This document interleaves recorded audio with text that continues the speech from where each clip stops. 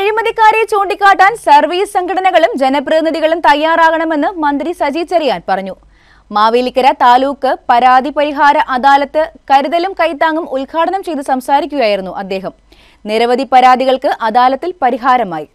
ശനിയാഴ്ച രാവിലെ മുതലാണ് മാവേലിക്കര താലൂക്കിലെ മന്ത്രിതല പരാതി പരിഹാര അദാലത്ത് നടന്നത്. നൂറുകണക്കിന് ആളുകളാണ് അദാലത്തിൽ പരാതി പരിഹാരത്തിനായി എത്തിച്ചേർന്നത്. മന്ത്രി സജി ചെറിയാൻ ഉദ്ഘാടനം ചെയ്തു. ജനങ്ങൾക്ക് സേവനം ലഭ്യമാക്കാൻ ബുദ്ധിമുട്ടുണ്ടാക്കുന്ന അഴിമതിക്കാരെ ചൂണ്ടിക്കാട്ടാൻ സർവീസ് സംഘടനകളും ജനപ്രതിനിധികളും തയ്യാറാകണമെന്ന് അദ്ദേഹം പറഞ്ഞു.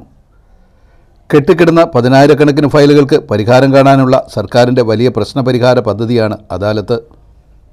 ഭരണഘടന പ്രകാരം കോടതികൾ എക്സിക്യൂട്ടീവ് നിയമനിർമ്മാണ സഭ എന്നിവ ഒരേ മാലയിലെ മുത്തുകൾ പോലെയാണ്.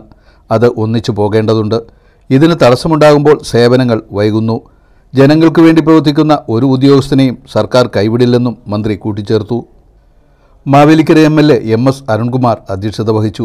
A M Arif M P ജില്ലാ കളക്ടർ ഹരിത വി കുമാർ നഗരസഭാ chairman K V Sreekumar block panchayat president Indiradas Bharanikkavu block panchayat president S Rajani ജില്ലാ പഞ്ചായത്ത് അംഗങ്ങളായ Nikesh Thampi G Athira K G Santhosh Kumar panchayat പ്രസിഡന്റുമാർ ത്രിതല പഞ്ചായത്ത് ജനപ്രതിനിധികൾ തുടങ്ങിയവർ പങ്കെടുത്തു. റേഷൻ കാർഡ് തരംമാറ്റി കിട്ടിയത് രോഗിയായ വള്ളികുന്നം സ്വദേശി ബാലന് ആശ്വാസമായി.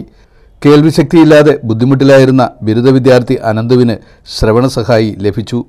മുപ്പത്തിയഞ്ച് കുടുംബങ്ങളുള്ള ചുനക്കരയിലെ ലക്ഷം വീട് കോളനിയിൽ വഴിവിളക്ക് സ്ഥാപിക്കുവാനും അദാലത്തിൽ നടപടിയായി. News bureau Mavelikkara.